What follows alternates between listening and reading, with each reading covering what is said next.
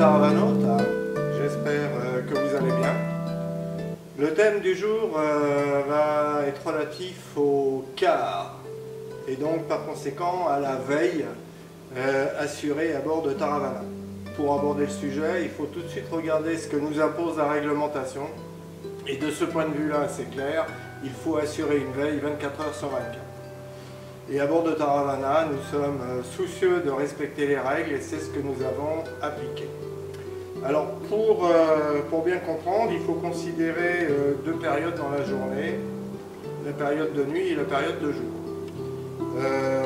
la période de nuit, on va dire qu'elle commence à 21h, pour faire simple, et à partir de 21h, on entame le premier quart, et quand je dis on, c'est Andrea qui entame le premier quart, qui va durer de 21h à 1h euh, du matin.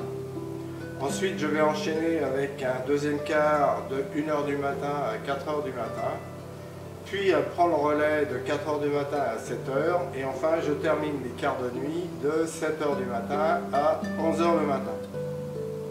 Ensuite, on passe en mode de fonctionnement euh, jour, et donc euh, bah, généralement on est toujours ensemble tous les deux, et la veille est assurée euh, avec euh, non plus deux yeux mais quatre yeux. Euh, moyennant quoi, il nous est jamais arrivé rien de, grave en appliquant cette, cette règle. On utilise aussi un outil magique qui s'appelle l'AIS, qui est une sorte de radar, pour faire simple, qui alerte les cargos ou les paquebots ou les gros bateaux de pêche équipés du même système de notre présence.